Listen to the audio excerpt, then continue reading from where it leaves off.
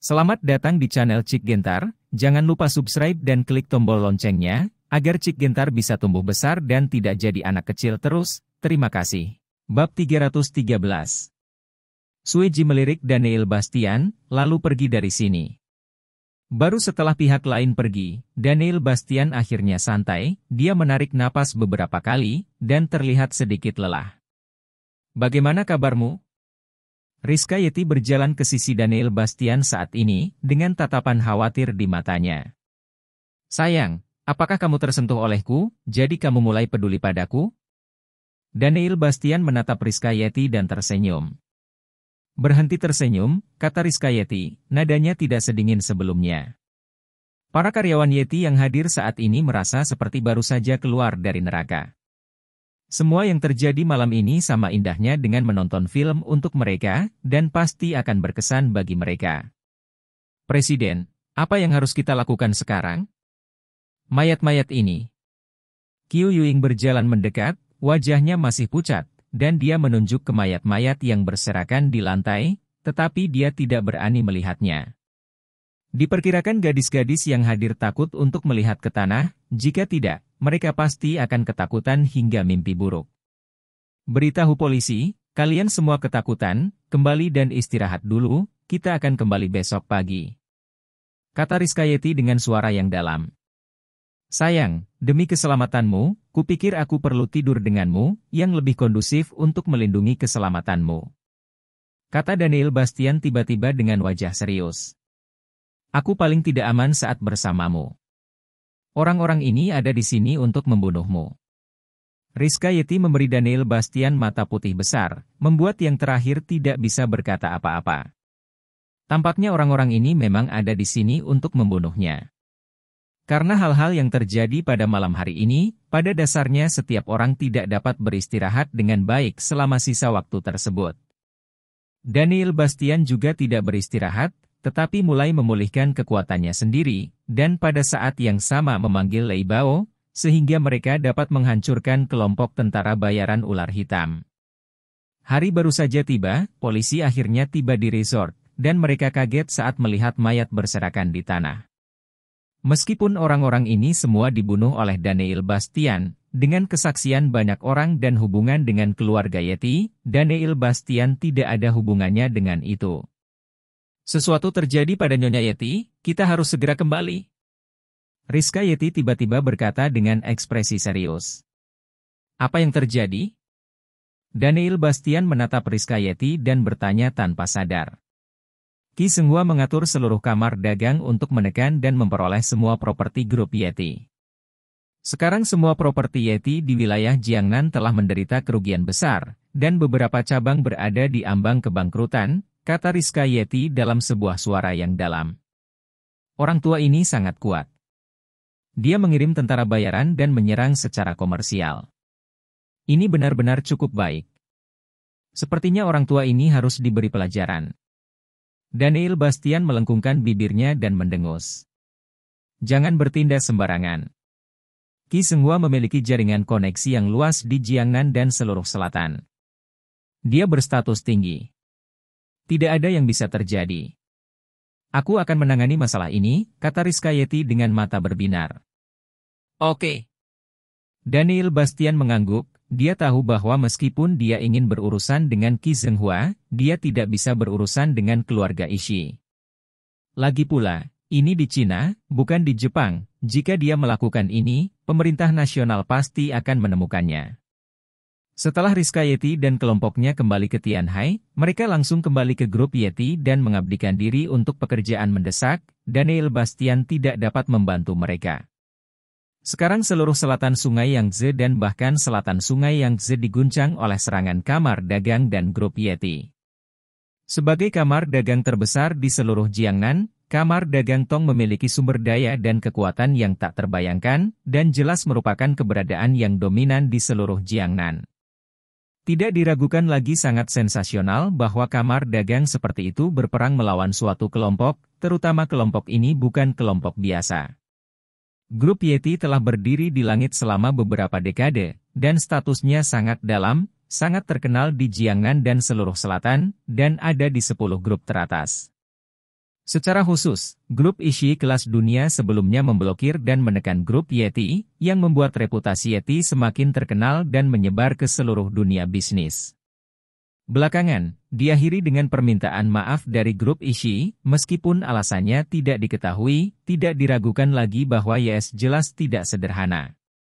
Sekarang kedua kekuatan ini bertabrakan, percikan api yang tak terhitung jumlahnya telah terpicu secara alami, yang telah menarik perhatian semua orang. Di Suzhou dan Hangzhou, markas besar grup Qi, Qi Zhenghua sedang duduk di sini di sebuah kantor, dan seorang pria berjas berjalan ke arahnya dengan cepat. Bagaimana? Qi Zhenghua bertanya. Semua mati, tidak ada yang selamat.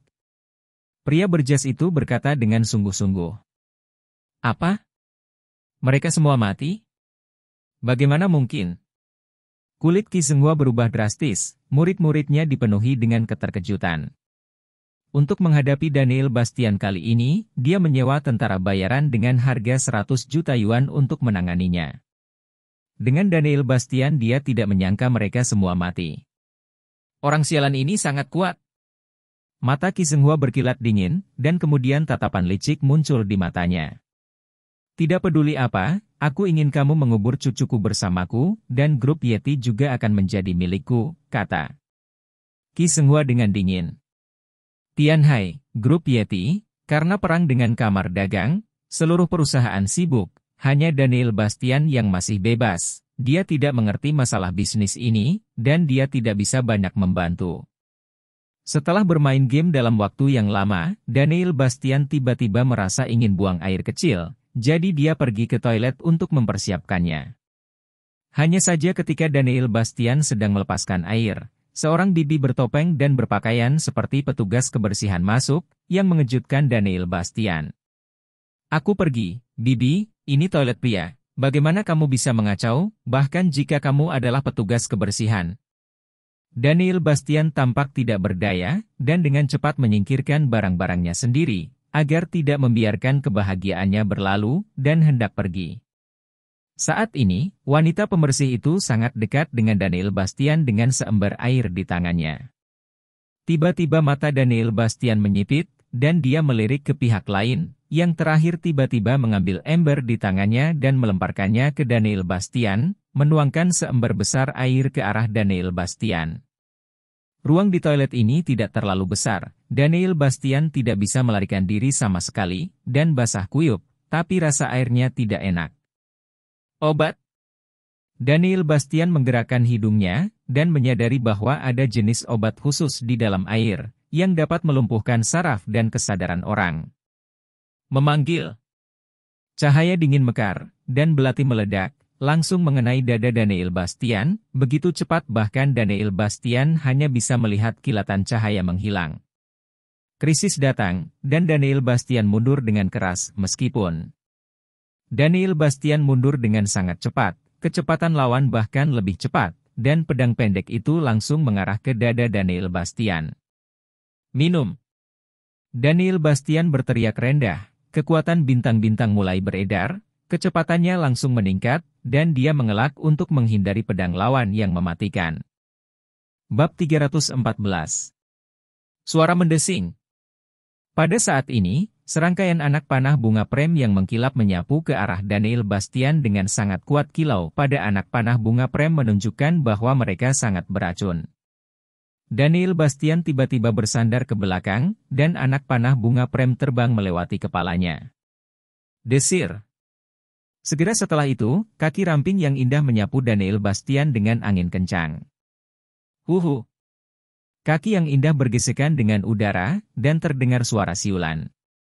Kakinya bagus, kamu bisa bermain selama setahun. Daniel Bastian memandangi kaki ramping itu, tersenyum main-main, dan meraih pergelangan kaki yang lain dengan satu tangan. Segera setelah itu, kaki lawan lainnya juga menyapu ke arah Daniel Bastian. Ledakan! Daniel Bastian meninju, dan terdengar suara teredam, penuh energi. Jempol! Kedua belah pihak mundur lagi dan lagi, dan wanita yang berpura-pura menjadi bibi pembersih melompat ke udara dan mendarat di tanah, pakaian bibi pembersih di tubuhnya telah berserakan, memperlihatkan penampilan aslinya. Rambut panjangnya yang glamor seperti tinta membuat wajahnya yang dingin sedikit lebih kurus. Alis daun willownya yang panjang menunjukkan kesejukan, dan sepasang mata ramping yang indah bersinar dengan niat membunuh yang dingin. Bibir kecil yang montok itu menyatu, seperti ceri merah yang cerah dan bening, mau tidak mau orang harus menggigitnya. Wajahnya sangat indah dan sempurna, kulitnya cerah dan halus, dan sosoknya bahkan lebih tidak rata, tingginya hampir 1,75 meter, dan dia mengenakan celana ketat hitam, yang menggambarkan sosok yang sempurna. Kamu siapa? Apakah kamu juga pembunuh dari organisasi jiwa darah? Ada begitu banyak pembunuh cantik di jiwa darah ini? Daniel Bastian memandang ke pihak lain dan berkata dengan ringan. Dan wanita ini adalah generasi muda paling berbakat dari keluarga Iga di Dongying, Iga Hideko, putri dari kepala klan Iga. Desir. Dengan gerakan tubuh Yihesiuzi, dia berubah menjadi hantu, menyeret serangkaian bayangan, dan menembak Daniel Bastian dengan pedang pendek yang diresapi dengan energi geng. Ci. Terdengar suara menusuk telinga menembus udara, dan angin kencang bertiup ke arah wajah Daniel Bastian, membawa niat membunuh yang kuat. Mata demensia. Lingkaran ungu di mata Daniel Bastian berkedip-kedip, menciptakan efek yang menggetarkan jiwa. Seketika mata Iga Hideko menjadi kusam, dan dia dibawa pergi. Daniel Bastian menyambar pedang pendek dari tangan lawan, dan langsung menempelkannya ke tenggorokan lawan. Pada saat ini, warna ungu tua Naiga Hideko pulih, dan ekspresinya langsung berubah. Cantik, kamu adalah tawananku sekarang, jangan bergerak jika kamu tidak ingin mati. Daniel Bastian memandang pihak lain dengan main-main. Namun, ekspresi Iga Hideko acuh tak acuh, Seolah-olah dia sama sekali tidak peduli dengan situasi di depannya, rapier yang memancarkan spiritualitas tiba-tiba muncul di tangannya, dan menusuk ke arah dada Daniel Bastian dengan satu pedang. Daniel Bastian hanya merasakan krisis yang kuat menyelimuti seluruh tubuhnya. Krisis semacam ini belum pernah terjadi sebelumnya. Itu membuat semua bulu di tubuhnya tiba-tiba berdiri, dan dia mundur dengan kasar sambil mengayunkan belati di tangannya. Klik! Ketika belati di tangan Daniel Bastian bertabrakan dengan rapier di tangan Iga Hideko, itu pecah menjadi dua bagian, terlihat sangat rapuh. Rapier lawan menyentuh dada Daniel Bastian dalam sekejap mata, dan langsung menusuk ke dalamnya. Meski tubuh Daniel Bastian kuat dan senjata biasa tidak bisa melukainya, rapier lawan dengan mudah menembus pertahanan fisiknya. Untungnya, Daniel Bastian mundur tepat waktu, jika tidak, pedang lawan akan menembus dadanya. Pada saat ini, dada Daniel Bastian masih berlumuran darah. Dia menutupi dadanya dengan satu tangan, dan mengoperasikan seni tubuh hegemoni bintang sembilan, kekuatan bintang-bintang menyebarkan kerusakan, membuatnya pulih dengan cepat. Segera, mata Daniel Bastian menyapu ke arah pedang tipis yang dipegang di tangan Yiga Siuzi, yang bersinar terang dan membawa aura yang sangat tajam dan tajam, itu adalah pedang roh kelas menengah dari keluarga Iga. Ini? Senjata spiritual. Daniel Bastian menatap rapier di tangan lawan, menyempitkan pupil matanya dengan sedikit keterkejutan. Dia tidak menyangka bahwa pihak lain memiliki pedang senjata spiritual di tangannya, tidak heran pedang itu begitu tajam sehingga menyebabkan krisis yang mendalam pada Daniel Bastian. Minum. Iga Hideko melemparkan tubuhnya ke arah Daniel Bastian lagi, dan pedang roh di tangannya ditembakkan dengan cahaya yang menyilaukan. Karena memegang pedang roh, kekuatan serangan Iga Hideko langsung melonjak, bahkan Daniel Bastian pun tidak berani mengambilnya dengan mudah, lagi pula kekuatan senjata roh ini terlalu besar, bisa melawan. Lawan sudah berada di tahap akhir Stellar Kirealm, dan dengan pedang roh kelas menengah di tangannya, kekuatan serangannya telah meningkat puluhan kali lipat, sebanding dengan orang kuat di Great Consumation Stellar Kirealm. Daniel Bastian hanya bisa menghindari ujung tajamnya untuk sementara, dan untuk sementara, keduanya bertarung bersama di toilet, energi pedang beriak, meninggalkan bekas pedang yang dalam di dinding sekitar toilet. Ah!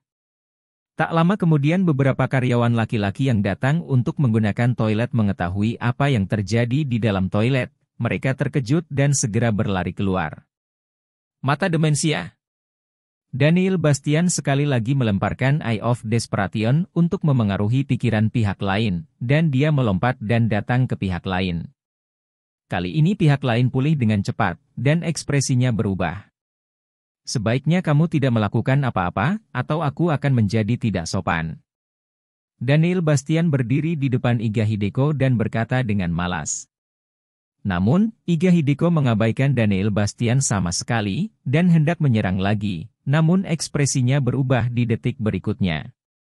Mengikuti cubitan tak tahu malu Daniel Bastian, Iga Hidiko merasakan aliran listrik melewati seluruh tubuhnya, mengurangi kekuatannya hingga lebih dari setengahnya, dan auranya sangat melemah. Apakah aku baru saja mengatakannya, lebih baik tidak melakukannya, kamu tidak bisa menyalahkanku. Daniel Bastian tersenyum tanpa malu, diam-diam berpikir bahwa langkah ini sangat bagus. Meski tak tahu malu, tapi aku menyukainya. Kamu. Iga Hidiko menatap Daniel Bastian dengan marah, matanya penuh dengan niat membunuh, dan dia akan mengumpulkan kekuatannya untuk bergerak lagi. Tetapi Daniel Bastian, seorang pria yang tidak tahu malu, mencubitnya dengan kejam lagi. Iga Hidiko mau tidak mau mengeluarkan suara, pipinya memerah. Seluruh tubuhnya seperti dialiri arus listrik, dia lembek dan mati rasa untuk beberapa saat, dia bahkan tidak bisa berdiri diam, napasnya tampak sangat cepat, dan matanya sedikit kabur. Aku akan pergi, kamu sangat sensitif. Daniel Bastian terkejut melihat kasih sayang yang meluap dari pihak lain, dan kemudian tersenyum jahat di sudut mulutnya. Daniel Bastian. Pada saat ini, teriakan Qiu Yuing tiba-tiba datang dari luar, dan kemudian sekelompok orang menyerbu masuk, dipimpin oleh Rizka Yeti, Qiu Yuing, Luo Yunhusi dan penjaga keamanan keluarga Yeti lainnya. Mereka semua memiliki ekspresi cemas di wajah mereka, jelas, karyawan yang baru saja masuk menemukan situasi di sini dan melaporkannya tepat waktu untuk menarik sekelompok orang seperti itu. Hanya saja sekelompok orang ini datang pada waktu yang kurang tepat, begitu mereka bergegas ke toilet, yang mereka lihat adalah wajah Iga Hideko yang memerah, dan tangan Daniel Bastian mencubit wanita itu tanpa malu-malu. Gambar ini terlihat sangat bersemangat dan ambigu. Bab 315 Melihat adegan ini, ekspresi Rizkayeti dan Qiu Yuing terus berubah, menjadi hitam. Pada saat ini Daniel Bastian juga mengungkapkan sedikit rasa malu, cepat atau lambat sekelompok orang ini tidak datang, datang pada saat ini, bukankah ini akan merusak kehidupan kebijaksanaannya? Bukankah kamu bilang mereka bertengkar? Rizka Yeti menatap karyawan laki-laki yang datang untuk menggunakan toilet dengan wajah dingin, penuh momentum. Ini. Pada saat ini, karyawan laki-laki itu juga mengungkapkan ketidakberdayanya. Yang dilihatnya adalah Daniel Bastian bertarung sengit dengan seorang wanita, bagaimana bisa menjadi seperti ini dalam sekejap mata. Lepaskan. Pada saat ini, Iga Hideko berteriak dengan nada dingin, Aura menakutkan keluar dari tubuhnya, dan Daniel Bastian terkejut berulang kali. Aku akan membunuhmu. Yihesiusi menatap Daniel Bastian dengan mata dingin, singkirkan pedang rohnya, berbalik dan berjalan keluar. Saat ini, Luo Yun dan yang lainnya ingin menghentikannya, tetapi Daniel Bastian menghentikannya. Apa yang terjadi? Apa yang kamu lakukan? Rizka Yeti berjalan mendekat, menatap Daniel Bastian. Tidakkah kamu melihat bahwa dia ingin membunuhku, dan aku melawan? Daniel Bastian mengangkat bahu dan berkata, Apakah kamu yakin kamu menolak, tidak mengambil keuntungan? Rizka Yeti memandang Daniel Bastian dengan curiga. Aku pasti menolak, tidak mengambil keuntungan, kata Daniel Bastian dengan sangat serius. Rizka Yeti melirik Daniel Bastian, berbalik dan pergi. Bos, apakah kamu baik-baik saja? Harimau besar dan kedua harimau itu mendatangi Daniel Bastian dan bertanya. Tidak apa-apa. Daniel Bastian menggelengkan kepalanya. Ini semua salah kami, kami tidak memeriksa dengan baik, dan seseorang menyelinap masuk. Pada saat ini, Hili menatap Daniel Bastian dan berkata dengan kepala tertunduk. Itu bukan urusanmu. Pihak lain sangat kuat. Jika kamu ingin menyelinap ke sini, kamu tidak akan bisa mengetahuinya. Oke, mari kita semua bekerja. Daniel Bastian menggelengkan kepalanya, lalu dia menerima telepon dari Dong. Li, sepertinya suasana hatinya sedang buruk. Sangat baik. Datang ke bar, Daniel Bastian melihat Dong Li duduk di meja dengan tumpukan botol anggur di depannya, wajahnya memerah karena minum. Ada apa denganmu? Daniel Bastian menatap Dong Li dan bertanya tanpa sadar. Kakak Daniel, kamu di sini, ayo, minum bersamaku. Kata Dong Li sambil mengangkat botol anggur dan menatap Daniel Bastian. Apakah kamu putus cinta? Daniel Bastian mengambil botol anggur dari tangan Dong Li dan duduk di depannya. Benar, Wenya menyuruhku putus. Kata Dong Li dengan ekspresi sedih di wajahnya. Mengapa? Bukankah kalian berdua memiliki hubungan yang baik? Pandangan ragu muncul di mata Daniel Bastian. Dalam penculikan sebelumnya, dia mengetahui identitas saya dan merasa bahwa saya telah menipunya, jadi dia tidak dapat menerimanya, bahkan ayah saya memintanya untuk meninggalkan saya, mengatakan bahwa kami tidak mendapatkan hasil, dan W-nya putus dengan saya. Dongli berkata dengan mabuk, dengan kebingungan yang tak terbatas di matanya, terlihat sangat sedih di dalam hatinya. Jika kamu saling mencintai, jangan lepaskan. Selama kamu benar-benar menyukai satu sama lain, tidak ada kekuatan eksternal yang dapat menghentikanmu untuk bersama. Kata Daniel Bastian dengan suara yang dalam. Benarkah? Dongli menatap Daniel Bastian dengan bingung. Saat ini, sekelompok orang masuk dari luar bar, pemimpinnya adalah seorang pria paruh baya yang mengenakan setelan tang hitam, dengan tubuh agak gemuk, wajah kasar, dan ekspresi anggun. Itu adalah ayah Dongli, Dong Xiaotian, bos grup Dragon Tiger, diikuti oleh wanitanya Xiu Fang, diikuti oleh sekelompok pria berjas hitam dan kacamata hitam, yang ganas dan penuh aura pembunuh. Dong Li Dong Xiaotian masuk ke bar dan melihat Dong Li yang mabuk, wajahnya menjadi gelap, dan dia berteriak. Apa yang kamu lakukan di sini? Aku tidak ingin melihatmu, keluar. Keluar sekarang. Dong Li menunjuk Dong Xiaotian dan berteriak dengan marah, matanya penuh kebencian. Apakah kamu tahu apa yang kamu bicarakan? Aku ayahmu, namun kamu menyuruhku keluar. Dong Xiaotian berkata dengan dingin dengan wajah muram dan amarah di matanya. Siapa yang menyuruhmu mengatakan hal itu pada Wei-nya? Jika bukan karenamu, Wei-nya mungkin tidak akan putus denganku. Kamu sudah memutuskan hubunganku. Kenapa kamu masih melakukan ini, penuh rasa sakit? Meraung memilukan. Karena mereka tidak cocok untukmu, tidak layak menjadi menantuku Dong Xiaotian. Kata Dong Xiaotian dingin. Cocok atau tidak, itu bukan urusanmu. Ini urusanku, dan kamu tidak perlu ikut campur. Dong Li meraung keras. Tapi kamu adalah anakku, jadi aku harus menjaganya. Kamu ditakdirkan untuk menjadi naga di antara laki-laki di masa depan, dan kamu akan bertanggung jawab atas seluruh grup naga dan harimau. Bagaimana kamu bisa menemukan wanita biasa sebagai seorang istri, kata Dong Xiaotian dengan acuh tak acuh. Kamu pergi, aku tidak ingin melihatmu, aku lebih suka bukan anakmu, aku tidak ingin mewarisi grup Longhu mana pun, aku hanya ingin menjadi orang biasa. Putra Dong Xiaotian ditakdirkan untuk tidak menjadi orang biasa, ayo bawa pergi tuan muda itu. Dong Xiaotian langsung berteriak, dan segera dua pria berjas hendak melangkah maju untuk membawa Dong Li pergi, tapi mereka dihentikan oleh Daniel Bastian. Siapa kamu? Dong Xiaotian melirik Daniel Bastian. Aku teman Dong Li. Dia perlu melampiaskan dan menenangkan diri sekarang. Kamu harus pergi dulu, kata Daniel Bastian ringan. Bukan urusanmu untuk ikut campur dalam urusan keluargaku sendiri, singkirkan mereka. Tapi Dongli adalah temanku, jadi aku harus menjaganya. Dia sudah dewasa, jadi dia tidak perlu mengikuti rencana orang dewasamu lagi. Dia punya ide sendiri.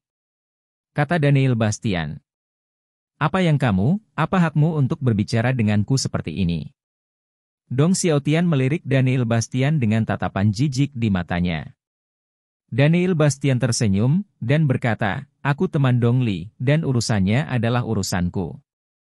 HMPH, kupikir kau benar-benar mencari masalah, kemarilah dan usir dia untukku. Dong Xiaotian menatap dingin Daniel Bastian meliriknya, dan berteriak dengan keras. Segera, dua pria berjalan dari belakang Dong Xiaotian, menatap Daniel Bastian dengan dingin, dengan aura menyeramkan menyebar dari tubuh mereka. Wah, apakah kami akan mengusirmu, atau kamu harus keluar? Kedua pria itu menatap Daniel Bastian dengan pura-pura, dengan sedikit sarkasme di mata mereka. Apa yang kamu lakukan? Kakak Xiao adalah temanku, kamu tidak bisa memperlakukannya seperti ini. Dong Li tersipu dan berteriak mabuk. Aku pikir kamu harus keluar dulu.